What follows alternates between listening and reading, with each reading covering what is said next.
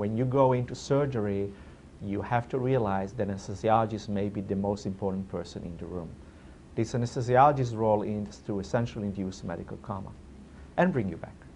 So um, who is an anesthesiologist? You should check with your surgeon. You should check with your local medical group. You should check on the National Practitioner Database. Just go Google search and find out what are the qualifications of this doctor, where did he graduate from, is he board certified, is he a member of the American Society of Anesthesiologists? All these are indicators. Going to sleep, that expression is not a good descriptor of what is happening to you under general anesthesia. What is happening to you is medically induced coma. No more, no less. Your EEG is going to be flat.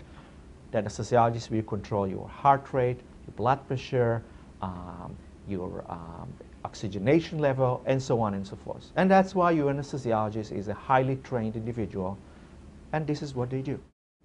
Over 3 million children a year undergo surgery in this country. About 60% of them have extreme anxiety and distress before surgery and pain after surgery. There are many ways to relieve the anxiety before surgery and the pain after surgery. Some of the ways before surgery are information. Parents need to know what's going to happen. Their kids need to know what's going to happen. The parents need to prepare the kids for the experience of the surgery. Tell them what's going to happen. Sometimes it's better for the parent to be in the operating room. Sometimes it's good to give a sedative to the child before surgery. And if the hospital does offer a preparation program before surgery, take them up on it. I know it means a couple of hours off work, but it's really important. We have recently received a $2.4 million grant from the NIH to develop a web-based preparation program for kids.